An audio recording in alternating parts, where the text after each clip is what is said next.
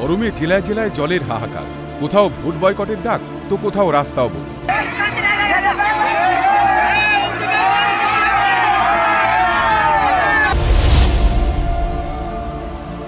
গরম যত বাড়ছে, ততই নামছে ভূগর্ভস্থ জলস্তর। শুকিয়ে যাচ্ছে কুয়ো।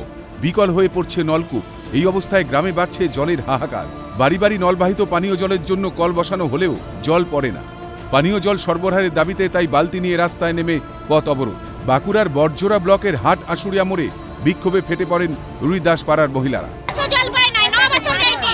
আজ তিন বছর টাইম কল দিয়েছে টাইম কলে জল আসে নাই। আমরা সেই জন্য এরকম কত বরাদ করেছি। এক্সিকিউটিভ ইঞ্জিনিয়ার তার সাথেও কথা হয়েছে। তো বেলবনিতে যেখানের থেকে জলটা ডাইভারশন হয় সেই জায়গায় চারটে পাম্পের মধ্যে লিফটিং পাম্পের মধ্যে তিনটে খারাপ হয়েছে। তো মিস্ত্রি কমপ্লিট করতে পারেনি। আজকালেই মিস্ত্রি লাগবে। তো জলটা হয়ে যাবে।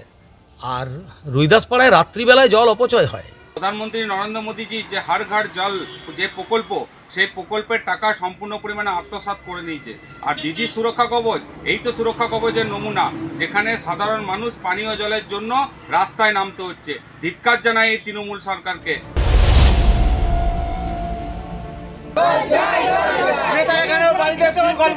জবাব জবাব চাই। বাসন্তীতে অকেজো নলকূপ তীব্র জলকষ্টের জেরে পুকুরের জল ফুটিয়ে খাচ্ছেন দক্ষিণ চব্বিশ পরগনার বাসন্তীর ফুলমালঞ্চ গ্রাম পঞ্চায়েতের ছোটকলা এলাকার বাসিন্দারা। বাড়ছে ক্ষোভ সমস্যার সমাধান না হলে আন্দোলনে নামার হুঁশিয়ারি। আমাদের কলে জল পড়ছে না এই গরমের সময় আমরা কলে এসে তিন ঘণ্টা দাঁড়িয়ে আছি লাইন দিয়ে কোনো জল নেই। আমরা পুকুরের জল পর্যন্ত ফুটিয়ে খাচ্ছি।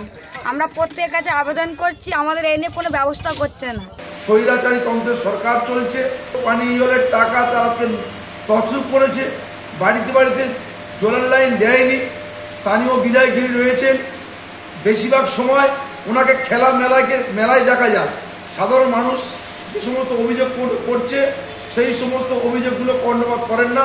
দেখুন পুকুরের জল যদি তারা যদি ফুটিয়ে যদি খায় সত্যিকারের কথা খুব দুর্ভাগ্যর বিষয় এটা। আর এবং এখন জলস্তর মানে হচ্ছে নিচেতে নেমে গেছে। নেমে যাওয়ার কারণে মানে হচ্ছে জিনিসগুলো ঘটছে। হাওড়ার জগদীশপুরে দীর্ঘদিন পানীয় জলের সংকট। বেশিরভাগ কলেই জল নেই। জলের জন্য খুব সমস্যা পাচ্ছি আমরা। না এখনও পর্যন্ত আমাদের জল আসছে না। কলেরই এরকম হচ্ছে সবতে সব কলেতেই জল আসছে না। জলের দাবিতে আরামবাগ কলকাতা রাজ্য সড়ক অবরোধ। জল না পেলে ভোট বয়কটের ডাক হুগলির আরামবাগের হরিণখোলা দু নম্বর গ্রাম পঞ্চায়েতের সুলতানপুরের বাসিন্দাদের। পথে নেমে বিক্ষোভকারীদের সঙ্গে কথা বলে সমস্যার সমাধান করতে দেখা যায় পরিবহন মন্ত্রী স্নেহাশিস চক্রবর্তীকে। স্বরূপ রায়, হরিপদ মণ্ডল প্রসেনজিৎ অধিকারী ও পিন্টু হাজরা রিপোর্ট, ক্যালকাটা নিউজ।